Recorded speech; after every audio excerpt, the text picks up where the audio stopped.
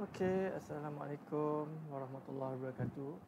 So, pada semua pelajar, untuk PST 104, kita akan teruskan dengan chapter 5, which is the latex coagulation. So, I hope you guys at home, stay, please stay at home. Jaga kesihatan, jaga keselamatan diri. Okay. So, by the way, we need to continue our chapter, which is chapter 5. Uh, and hopefully, by uh, this video, I can cover the whole chapters of chapter 5, which is the latex coagulation.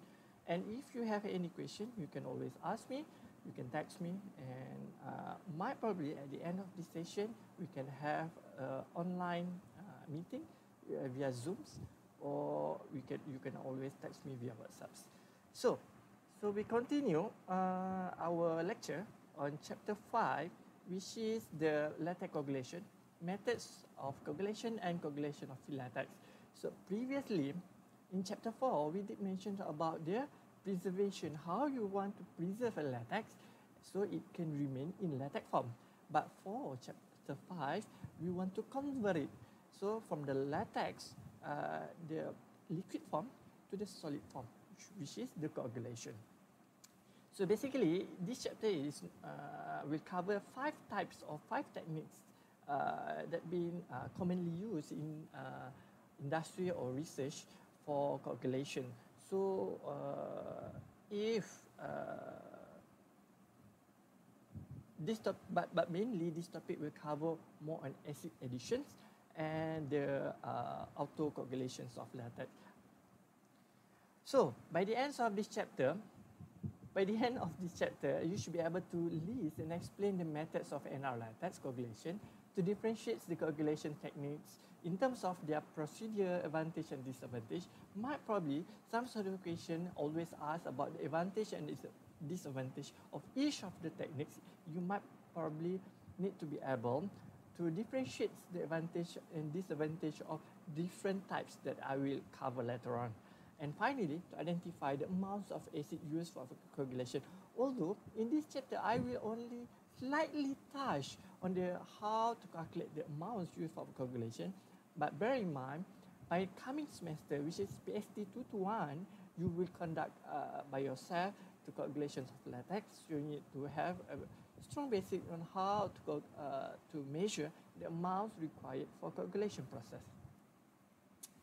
So, method of coagulation is a destabilizing agent cited in literature, which is the addition of acid, which is if I did, uh, if you can recall, previously I did mentions about the how the stability of latex can be achieved is to eliminate of the H uh, positive charges so that remain the negatively charged of the lipids and protein so that latex will stay in liquid forms.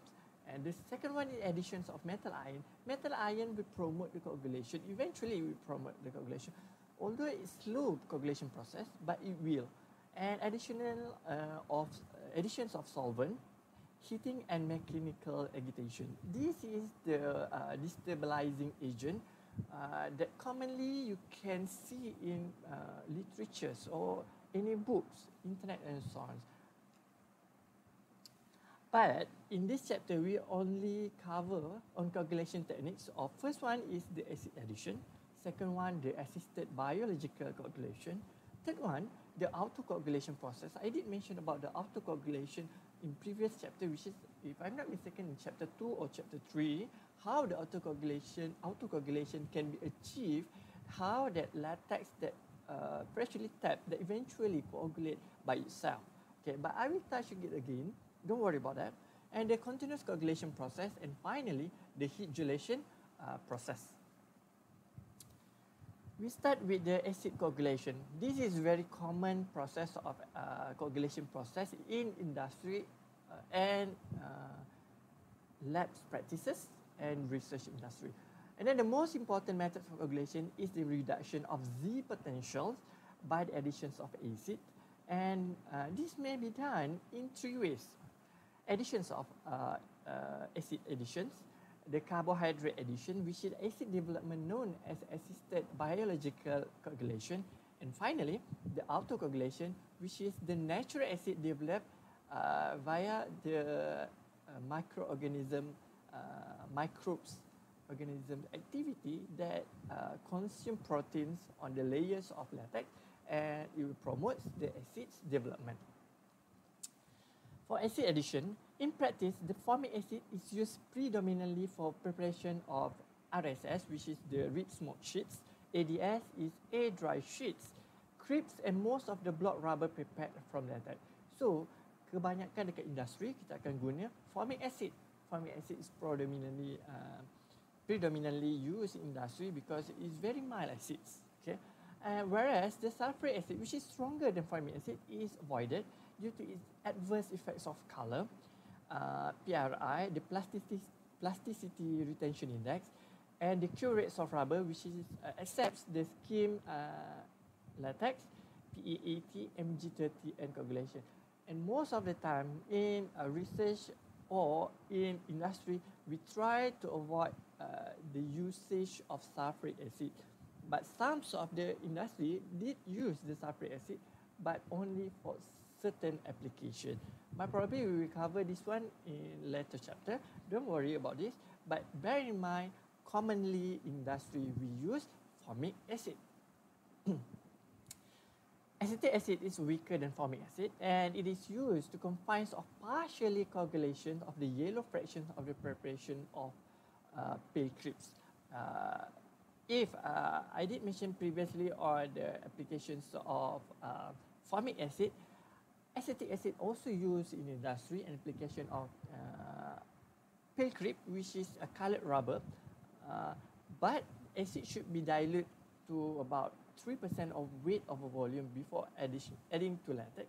This is, this is because we don't want to direct, uh, you pour, directly pour the acids onto the latex because it will auto, uh, immediately coagulate uh, during contact of the acids with the latex.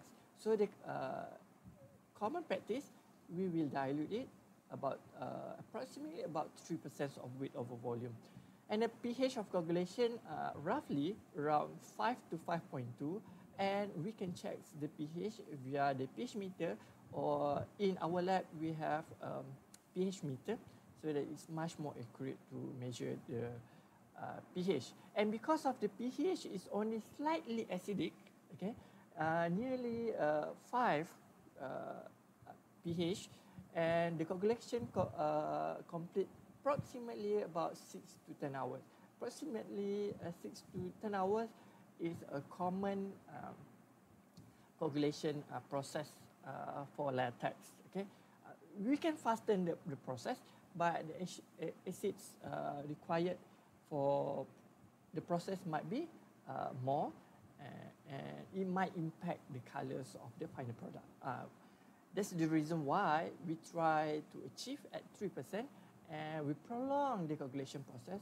By doing that, we can have a, a good a colored product. The second process, the assisted biological coagulation. In this process, the molasses containing of 50% weight over weight of carbohydrate. What is molasses? It's a byproduct of sugar refining industry. Okay, uh, the molasses is added to the rates of 0.8% of weight over weight of DRC, dry rubber content, as a substrate of acid development of bacteria. How this molasses provide the uh, acids development?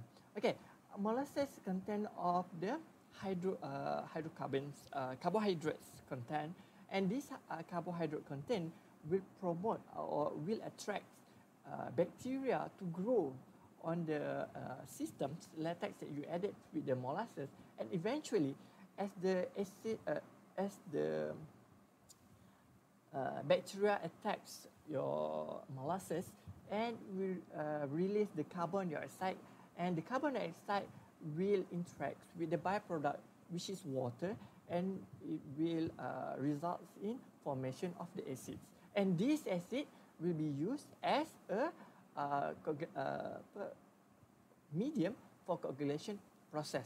But this method can only use for unpreserved latex and it is not applicable for the bulks of factory who use preservatives to suppress bacterial action. Previous chapter, we did uh, covers on the latex preservation. Uh, preservation. the preservations of latex commonly you, you put the ammonia. For assisted biological coagulation, latex must not be preserved. Uh, you need to bear in mind the only way to use the assisted biological coagulations, we uh, must use the unpreserved latex. So dalam cerita lain, dalam kata lain, tak boleh ada apa-apa apa-apa uh, bahan kimia yang boleh preserve latex sebelum awak guna process of biological coagulation. Hopefully this is very clear. But the, the disadvantage of these uh, coagulations is a long maturation period, which is the 28 to 36 hours of complete coagulations. Right.